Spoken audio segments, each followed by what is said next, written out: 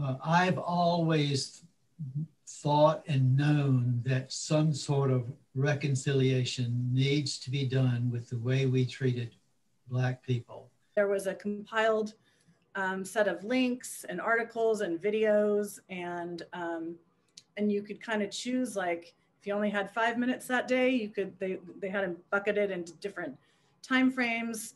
If you felt more like listening to something, if you felt more like reading something, um, and all of us as we started uh, digging into all this material, we started a, a, spreadsheet of kind of our thoughts on it. So it was nice because you could see what other people had thought and what they were really enjoying.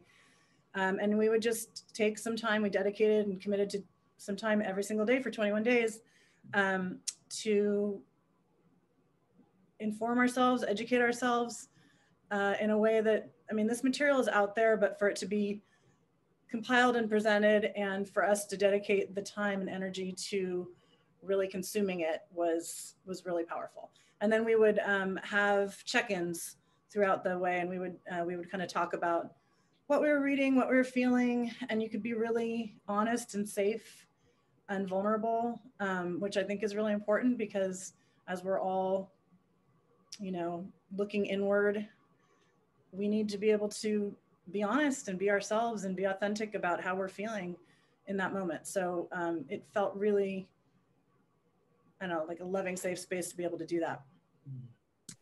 Well, I would encourage them to take it. It's it's a class that's hard to sit through, especially if you've never been exposed to any of this, because you're, you know, it's mostly invisible although there were plenty of laws written down to keep black people in their place.